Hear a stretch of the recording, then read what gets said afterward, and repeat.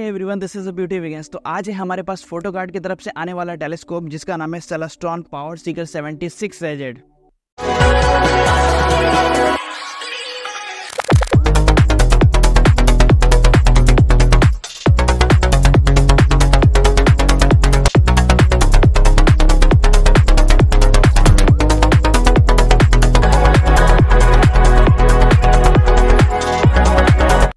आज की इस वीडियो में इसी Celestron power seeker 70 A Z का फुल रिव्यू देने वाला हूँ और हमारे पास जो पोलेक्स का 76 सिक्स mm वाला टेलीस्कोप है, उससे कंपैरिजन भी करके दिखाऊँगा। तो ये वीडियो मेनली तीन फैक्टर पे डिपेंड है। पहला है अनबॉक्सिंग जो कि सब करके दिखाते हैं। सेकंड इसकी स्पेसिफिकेशन मतलब इसके अंदर क्या एक्सेसरीज देखने को मिलेंगे, क्या नया नया अपग्रेड्स देखने को मिले हैं कंपेयर करें अपने पोलेक्स ब्रांड वाले टेलीस्कोप से। और थर्ड है हमारा सबसे इंपॉर्टेंट फैक्टर जिसका नाम है टेस्टिंग उसमें मैं आपको सबसे पहले प्लानिटरी करूँगा इस टेलीस्कोप से। देखता हूँ कितना ज़्यादा बेनिफिशियल साबित हो पाता है प्लानिटरी के अंदर। और फिर डीप स्काई करूँगा, फिर उसके बाद वाइल्ड लाइफ फोटोग्राफी भी करके दिखाने वाला हूँ इस टेलीस्कोप से। और साथ में लास्ट हम लोग आपको ह्यूमन फोटोग्राफी भी करके दिखाएँगे इसी टेलीस्कोप से।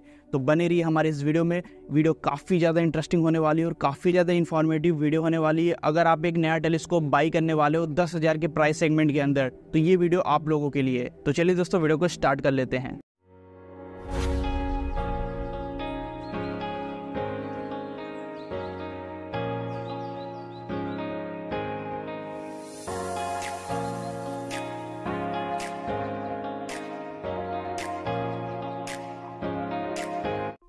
तो अनबॉक्सिंग से स्टार्ट करते हैं। तो आप लोग यहाँ पर देख सकते हो, मुझे फ़ोटो कार्ड से ये बॉक्स रिसीव हुआ है। इसमें क्या है, अभी खोल के पता चलेगा। तो चलिए जल्दी से पॉलिथीन को अनरैप कर लिया जाए। पॉलिथीन अनरैप करने के बाद कौन से ब्रांड का टेलीस्कोप है, ये पता चल जाता है, जो कि सेलेस्ट्रॉन ब्रांड का टेलीस्कोप हमको यहाँ पर भेजा है फ़ोटो कार्ड ने। और जो पैकेजिंग है, काफ़ी गजब की करी है फ़ोटो कार्ड ने। तो यहाँ पर हम लोग अपने सीजर के मदद से अपने बॉक्स को काटे और यहाँ पर हम लोगों को फ़र्स्ट इंप्रेशन दिखा अपने टेलीस्कोप का।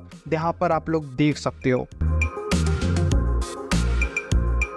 बॉक्स को ओपन करने के बाद मुझे सेलेस्ट्रॉन का स्टार नाइट एक कार्ड मिलता है तो मैं इसको साइड रखता हूँ। सेकंड चीज़ मुझे सेलेस्ट्रॉन की डॉट कॉम वाली लिंक देखने को मिलती है। यहाँ पर बता रहा है कि आप यहाँ से शॉपिंग कर सकते हो। लेकिन मेरा रिकमेंडेशन यही है कि आप फ़ोटो कार्ड से बाय करो, आपको वैल्यू फॉर मनी प्रोडक्ट देखने को मिल जाएगा। तीसरी चीज़ मुझे एक सीडी देखने को मिलती है सेलेस्ट्रॉन की तरफ़ से। और चौथी चीज़ मुझे एक सेलेस्ट्रॉन की तरफ़ से मैनुअल देखने को मिलता है, जिसमें आप पढ़कर अपने टेलीस्कोप के बारे में जान सकते हो, कैसे अपने टेलीस्कोप को असेंबल करते वो सब सिखाया गया है। और कॉलीमेशन तक भी इसमें बताया गया है कि आप कैसे कर सकते हो। तो मेरे ख्याल से बहुत ही ज़्यादा इंपॉर्टेंट हो जाता है किसी बिगनर के लिए अगर उसको टेलीस्कोप असेंबल नहीं करने आता तो बहुत ही ज़्यादा ज़रूरी होता है तो उसको फेंकिएगा मत। और पचवा, एक और इंस्ट्रक्शन मैनुअल यहाँ पर दिया गया है, यहाँ पर रिफ्रैक्टर और रिफ्लैक्टर दोनों का मैनुअल यहाँ पर है, आप दोनों सीख सकते हो कैसे असेंबल करा जाता है तो ये भी काफ़ी ज़्यादा इंपॉर्टेंट हो जाता है तो आप अपने पास ज़रूर रखिएगा। तो चलिए अपने कार्टन वाले बॉक्स से, अपने मेन बॉक्स को निकालते हैं।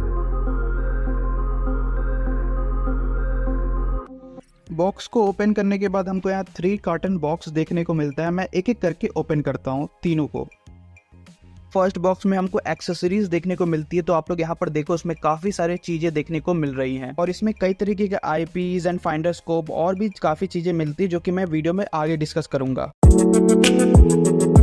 Now it's time to unbox the tripod तो हमारा जो ट्राईपोड है, वो निकल रहा है और जो ट्राईपोड यहाँ पर दिया गया है, बहुत ही गजब क्वालिटी का इसमें प्रोवाइड करा गया है ट्राईपोड हाँ एक और बात, इसकी जो बिल्ड क्वालिटी है, बताया जाता है कि काफ़ी अच्छी दी गई है, लेकिन ओपन करने के बाद ही पता चलेगा कि बिल्ड क्वालिटी कैसी है. बॉक्स ओपन करने के बाद यहाँ पर हमको ट्राईपोड का एकदम गजब का लुक देखने को मिलता है, क्योंकि उसकी जो पैकेजिंग करी गई है, बहुत ही ज़्यादा गजब का हमको देखने को मिल रहा है, क्योंकि इतनी अच्छी पैकेजिंग मज़ा आ गया. और साथ ही साथ इसी बॉक्स के अंदर हमें एक्सेसरी ट्रे भी देखने को मिलता मिलता है, आप लोग यहाँ पर देख भी सकते हो, जिसमें हम लोग आई वगैरह रख सकते हैं। सो so फाइनली हमारे ये मेन बॉक्स है, जिसके अंदर ऑप्टिकल ट्यूब है मतलब हमारे टेलीस्कोप है इसके अंदर। ऐसा भी कह सकते हो कि हमारा इसके अंदर टाइम मशीन है, जो कि पास्ट के चीज़ों को देखता है। तो यहाँ पर मैं जल्दी से इसको ओपन करता हूँ और यहाँ पर आप देख भी सकते हो जो उसकी पैकेजिंग करी गई काफ़ी अच्छे तरीके से करा गया है और पॉलिथीन से रैप है और ये जो कलर है ब्लैक कलर में आता है सेलेस्ट्रॉन का सेवेंटी सिक्स एजेड टेलीस्कोप अगर आपको चाहिए तो लिंक डिस्क्रिप्शन में मिल जाएगी फ़ोटो कार्ड की। तो अनबॉक्सिंग के बाद जितने भी पार्ट्स हमारे निकले हैं बॉक्स के अंदर से सारे को जल्दी से मैं असेंबल करता हूँ।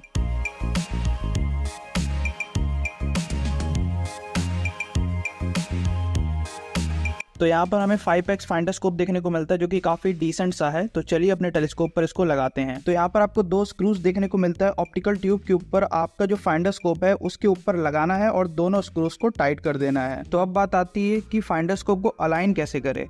तो अलाइन करने के लिए आपको सिंपल सा टेक्निक को अपनाना है। टेक्निक है क्या है यहाँ पर? आपको कोई वाइड फ़ील्ड ऑफ़ व्यू वाली आईपीस ले लेनी है तो मेरे पास यहाँ पर 20 एम mm की आईपीस है। तो मैं सबसे पहले उस आईपीस को अपने टेलीस्कोप में लगाकर किसी ऑब्जेक्ट को पॉइंट करूँगा। जब वो ऑब्जेक्ट आपके आईपीस में दिखने लगे तो आपको फिर अपना फाइंडर स्कोप को अलाइन करना है उस ऑब्जेक्ट से जो आपके आईपीस में दिख रहा है। तो आपको ऊपर ये तीन स्क्रूज देखने को मिलेंगे, इसी के मदद से आपका फाइंडर स्कोप अलाइन हो पाएगा।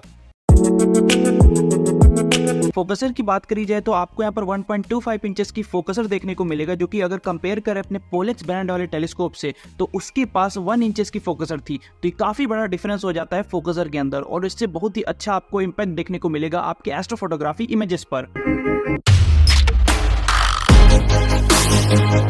बॉक्स के अंदर आपको तीन एक्सेसरीज और देखने को मिलती है, दो आईपीसेस और एक बालो लेंस और एक जो आईपीस है, वो 20 एम mm की है, जो कि ब्लू कोटिंग के साथ आती है। आपको इसमें ज़ीरो क्रोमेटिक एवरेशन तो नहीं देखने को मिलेगा, लेकिन आपको थोड़ा सा क्रोमेटिक एवरेशन देखने को मिल सकता है। जब हम लोग मोन की टेस्टिंग करेंगे, तब हम लोग ट्राई करेंगे, देखते हैं कितना क्रोमेटिक एवरेशन आता है। और साथ ही में आपको फोर एम mm की आईपीस देखने को मिलेगी और जो की काफ़ी डिसेंट सी इमेज निकाल के दे देता है। और साथ में आपको एक बालो लेंस भी देखने को मिल जाता है, जो की प्राइस के हिसाब से काफ़ी अच्छा दिया गया है यहाँ पर बालो लेंस ये आपके मैग्निफिकेशन को ट्रिपल कर देगा।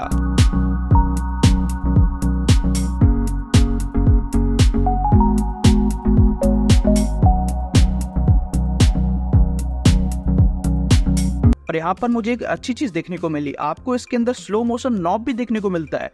एजमेथ माउंट के अंदर। सोचिए आपको यहाँ पर एजमेथ माउंट के अंदर एक स्लो मोशन नॉब भी दिया जा रहा है, जिसकी मदद से अपने आप टेलीस्कोप को ऊपर नीचे कर सकते हो। जो कि काफ़ी अच्छी बात है। अपर्चर की बात करी जाए तो इसका जो प्राइमरी मिरर है 76 सिक्स mm का है, यानी कि तीन इंच का। इसका फोकल लेंथ 700 हंड्रेड mm है, यानी कि आप लोग अच्छी खासी प्लानिटरी इमेजिंग भी कर सकते हो और साथ में अच्छी खासी डीप स्काई भी फोटोग्राफी कर सकते हो। अगर आपको यकीन नहीं हो रहा है तो ये जो सारी वीडियोज़ है, आप लोग जाके ज़रूर देखिएगा, एक बार विज़िट करके देखिए। मैंने सब चीज़ों को कैप्चर करके रखा है। फोकल रेशियो की बात करें तो फोकल रेशियो एफ़ नाइन है और आप लोग इससे मैक्सिमम टेन मैग्नीट्यूड तक की लाइट आप लोग देख सकते हो। कॉलिमेशन की अगर बात करें तो यहाँ पर आप लोग देख सकते हो सेकेंडरी मिरर के ऊपर ही यहाँ पर कॉलिमेशन स्क्रूज देखने को मिल रहे हैं और यहाँ पर आप लोग देख सकते हो ये सेकेंडरी मिरर है। और यहाँ पर बैक साइड में आप लोग देख सकते हो यहाँ पर तीन कॉलिमेशन स्क्रूज देखने को मिलेंगे, जो बड़े वाले हैं वो कॉलिमेशन स्क्रूज है, जो छोटे वाले हैं वो लॉकिंग स्क्रूज हैं।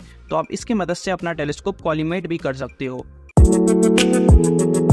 फाइनली अब बात कर लेते हैं इसके बिल्ड क्वालिटी के बारे में। तो आपको यहाँ पर एल्मोनियम ट्राईपोर्ट देखने को मिलेगा जो जो कि डबल एल्मोनियम रॉड के साथ आता है। अगर कंपेयर करें अपने पिछले वाले टेलीस्कोप से तो उसमें भी एल्मोनियम रॉड था लेकिन वहाँ पर क्या था कि एक, एक ही रॉड देखने को मिल रहा था लेकिन यहाँ पर आपको डबल सपोर्ट देखने को मिलेगा। तो ये काफ़ी इफ़ेक्टिव भी हो जाता है। अगर आपका ट्राईपोर्ड ही अच्छा नहीं रहेगा तो आप कोई भी चीज़ कैप्चर करोगे तो आपका जो टेलीस्कोप है वो काफ़ी वॉबल करेगा। तो आपको बहुत ही ज़्यादा परेशानी आएगी कोई चीज़ को कैप्चर करने में। जो मेरा पुराना टेलीस्कोप है उसके साथ मुझे बहुत सारी प्रॉब्लम आती अगर थोड़ी सी भी हवा चल जाती थी, जो हमारा ट्राईपोर्ड है, वो खुलने लगता था तो हमारी इमेजेस क्लियर नहीं आती थी। लेकिन इस ट्राईपोर्ड में ऐसा कुछ नहीं है। आप लोग आराम से अपने टेलीस्कोप को यूज़ कर सकते हो, बिना वॉबल करे। कलर की अगर बात करी जाए तो आपको यहाँ पर ब्लैक ऑयल पेंट कलर देखने को मिलेगा, जो की काफ़ी गजब का टेक्स्चर देता है। जब आप इसे धूप में लेके जाओगे तो ये काफ़ी गजब का साइन मारता है।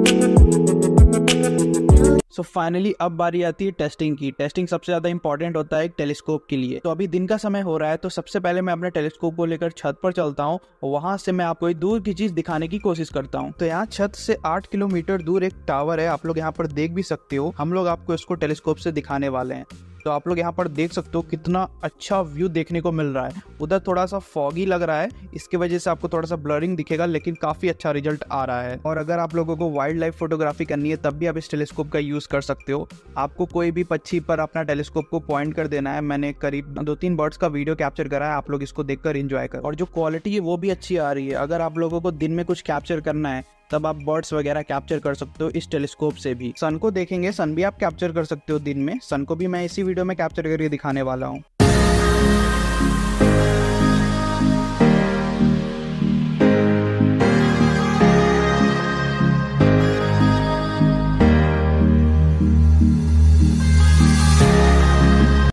And this is human photography ये भी काफ़ी अच्छी डीएसएलआर जैसी फ़ोटो कैप्चर कर लेता है। मैं आपको भी थोड़ी देर पहले लैंडस्केप के अंदर काफ़ी सारी चीज़ें दिखाया, जैसे मैं आपको घर दिखाया बर्ड दिखाया। तो अब मैं आपको बहुत ही खतरनाक चीज़ दिखाने वाला हूँ। अपने Celestron power seeker seventy six A Z telescope से मैं आपको बहुत ही खतरनाक चीज़ दिखाने वाला हूँ। सन कैप्चर करके दिखाने वाला हूँ। आप लोग देख सकते हैं, यहाँ पर वार्निंग लिखी गई है। इस टेलीस्कोप से डायरेक्ट आप सन को नहीं देख सकते।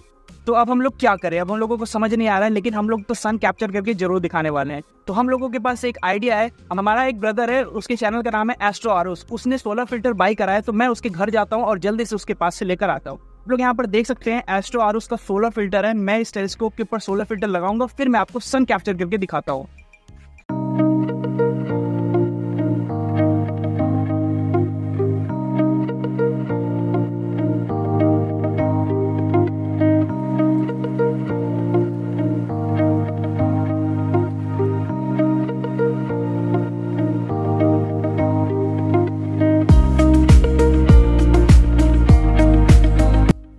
यहाँ पर आप लोग देख सकते हैं, यहाँ पर सन दिखने लगा है, कितना गजब का दिख रहा है, मज़ा ही आ गया यार। दोस्तों, आप रात में मिला जाए।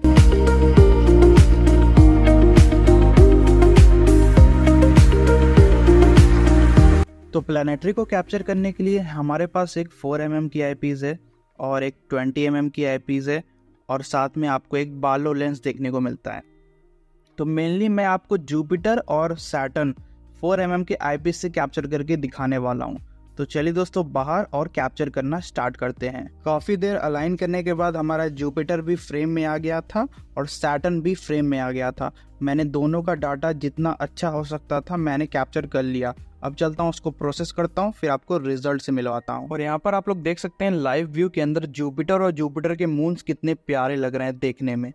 तो यहाँ पर मैं सोच रहा था कि लाइव व्यू में ही इतना अच्छा रिज़ल्ट मिला है तो एक बार प्रोसेस करके देखते हैं। तो मैंने सैटन और जुपिटर को दोनों एक एक करके प्रोसेस करा और यहाँ पर आप लोग देख सकते हैं कि फ़र्स्ट इम्प्रेशन है सैटन का, जो कि काफ़ी गजब का लग रहा है। हम लोग एक्सपेक्ट नहीं कर रहे थे कि इतना अच्छा रिज़ल्ट भी आ सकता है Celestron power Sikar 76 six mm से। और जुपिटर का भी आप रिज़ल्ट देख सकते हो, यहाँ पर इसके क्लाउड्स बैंड्स भी दिख रहे हैं। काफ़ी गजब के लग रहे हैं देखने में। और एक और चीज़ मैंने एक चीज़ और कैप्चर करी है। यहाँ पर जुपिटर का जो मून है यूरोपा मैंने उसको काफ़ी डिटेल में तो नहीं कैप्चर करा है, लेकिन मैं जब प्रोसेस कर रहा था जुपिटर को तो मैंने उसको थोड़ा सा क्रॉप करके थोड़ा सा इन्हांस करा है। तो ये देख सकते हैं यूरोपा का फ़र्स्ट इंप्रेशन है सेलेस्ट्रॉन पावर सीकर 76 एजेट से। तो साथ ही साथ हम लोगों ने सोचा कि मून भी कैप्चर कर लिया जाए। तो हम लोगों ने अपने टेलीस्कोप को एकदम अच्छे से कॉलिमेट करा था, जिसके वजह से यहाँ पर आपको ज़ीरो क्रोमेटिक एबरेशन देखने को मिल रहा है। लेकिन आपको थोड़ा बहुत देखने को मिल रहा होगा राइट साइड में देखो, आपको लिटिल बिट क्रोमेटिक एबरेशन मिल रहा है। लेकिन यहाँ पर जो व्यू देखने को मिल रहा है मून का काफ़ी हार्ड टचिंग है। और इस मून को देखकर मुझे काफ़ी ज़्यादा मज़ा आ गया।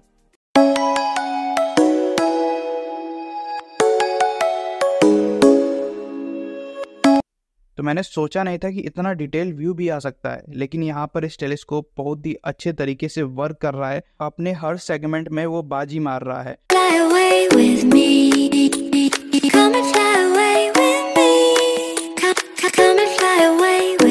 तो अब बारी आती है डीप स्काई की। दोस्तों, डीप स्काई बहुत ही ज़्यादा इंपॉर्टेंट होता है। अगर आप लोग प्लानटरी से थक चुके होगे मून फोटोग्राफी से थक चुके होगे तो आपके पास बसता एक ही ऑप्शन है, जो कि डीप स्काई ऑब्जेक्ट है। और आप लोग ये भी जानते होगे कि यूनिवर्स के अंदर कितने लाखों डीप स्काई ऑब्जेक्ट है, जो कि आप गिन भी नहीं सकते। तो सबसे पहले अगर आपको डीप स्काई के अंदर घुसना है तो आपको बिगनर लेवल से स्टार्ट करना पड़ेगा। आप लोग जानते होंगे जो ओरैन कॉन्स्टलेशन है, वो इतना ज़्यादा पॉपुलर है, और उसका जो नेबुला है ओरैन नेबुला वो भी इतना ज़्यादा पॉपुलर है, सबको पता होगा कि वो क्या है। तो आपको सबसे पहले अपना टेलीस्कोप उस डायरेक्शन में पॉइंट करना पड़ेगा, जिस डायरेक्शन में ओरैन नेबुला है। तो मैंने उस डायरेक्शन में पॉइंट करके काफ़ी मल्टीपल शॉट्स लिए। मैंने जब स्टैक करा डीप्स का स्टैगर के अंदर तो वो फ्रेम्स को रिजेक्ट कर दे रहा था। लेकिन हम लोगों ने जितना हो सकता था हमारे टेलीस्कोप से, हम लोगों ने लॉन्ग एक्सपोजर लिया सिंगल शॉट के अंदर। देख सकते हो कितना अच्छा कलर्स निकल कर आए हैं और एन नेबुला के अंदर। ये चीज़ हमको काफ़ी ज़्यादा पसंद आया। और जो हमारा सेकंड डीप स्काई ऑब्जेक्ट है, उसका नाम है पैलेडीज क्लस्टर जो कि टावरस कॉन्स्टोलेशन में आता है। उसको भी आप लोग बहुत ही इजी तरीके से कैप्चर कर सकते हो। तो मैं जितना भी डाटा रिकॉर्ड करा है मैं आपको स्क्रीन पे लगा के दिखाता हूँ।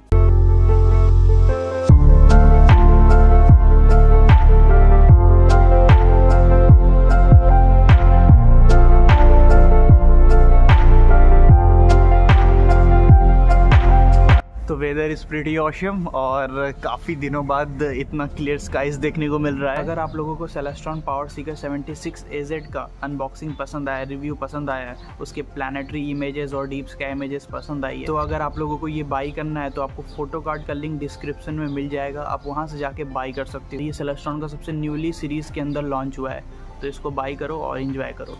तो चलिए दोस्तों, मैं मिलता हूँ किसी नेक्स्ट वीडियो में। तब तक के लिए जय हिंद और वंदे मातरम।